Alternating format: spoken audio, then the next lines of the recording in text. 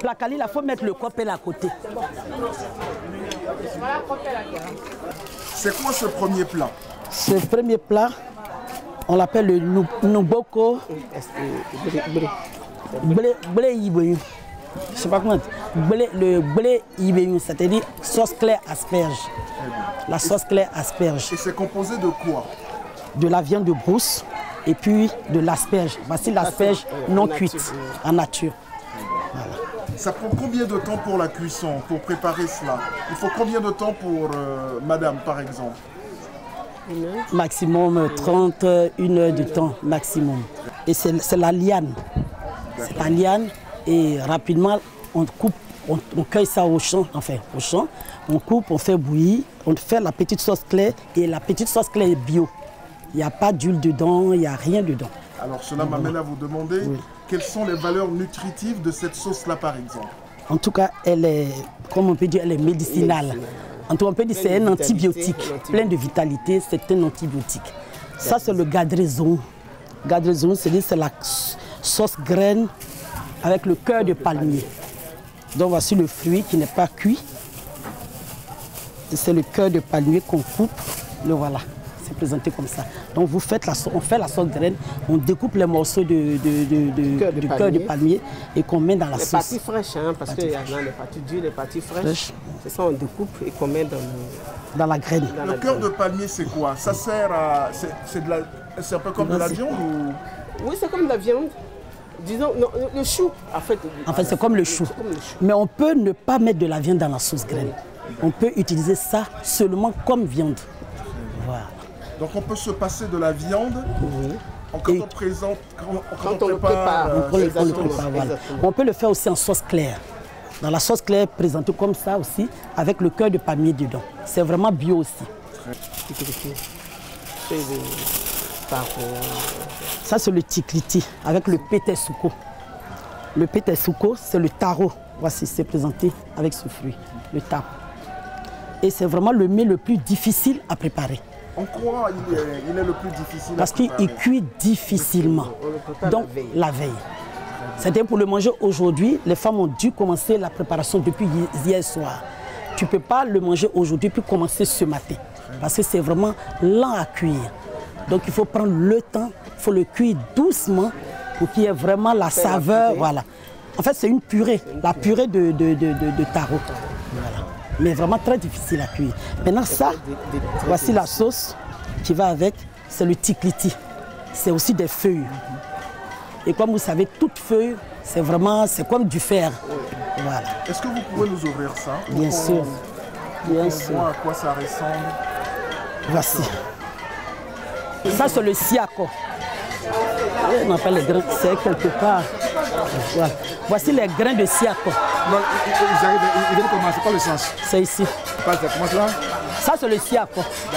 Donc, en fait, c'est ce qui est communément, euh, c'est dit comme tout le monde connaît, c'est la sauce longueur. Voilà. Et c'est ce que les guerriers appellent chez eux le plé. Voilà, chez nous, on appelle ça siako. Donc, voici les fruits. Ça se mange avec tout. On peut manger avec le placali, on peut manger avec du riz, Avec le foutu. avec du foutou aussi pour ceux qui n'aiment pas vraiment. Vraiment, ça, c'est beaucoup aimé par les gens. Le siako. Et on y retrouve euh, du champignon, du poisson maïs, poisson sec. Normalement, ça, il n'y a pas de. Chez les bêtés, on ne met pas de, de viande. On met le poisson, le champignon en fait, qu'on jette dedans. Donc ce que vous voyez là, c'est du champignon. on peut y mettre du poisson, on peut- Oui, on peut, mais chez les guerriers, ils mettent du poisson, des escargots, de la viande, ils mettent tout ça. Le copper, tout le monde le connaît, la sauce copper, ça se mange avec du placali. Et c'est avec le gombo. Ça, avec le gombo. Ça, il y a la viande, le poisson.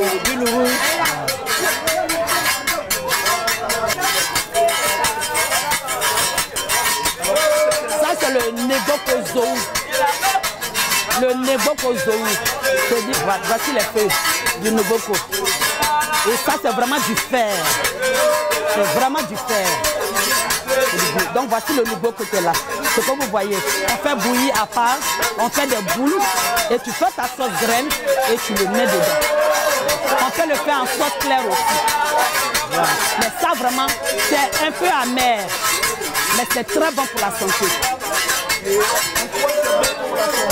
Pardon? En quoi bon pour la santé? Tout ce qui est fatigue, c'est aussi un antibiotique. Parce que ça a un goût amer. C'est un antibiotique. Ça revigore.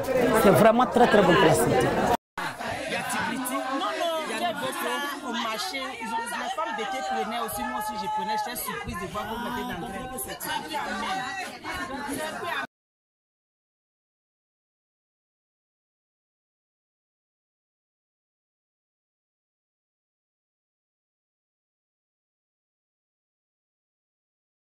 Le quattro IBU. Très bien. Voilà. C'est composé de quoi et quoi? Sauce claire, champignon. Voici le champignon. C'est du champignon noir. Et qu'on fait là, on peut mettre, voilà. Ça pousse sur le haut. Voilà. C'est ça. Et on accompagne ça de quoi? Du riz. Avec du riz. De façon traditionnelle, est-ce que les BT mangent plus, on va dire, ils mangent euh, plus bio qu'autre chose Beaucoup bio. Nous, on ne mange que bio. C'est-à-dire pas d'huile. Tout ce qu'on fait, c'est sans huile. Ah, mais le.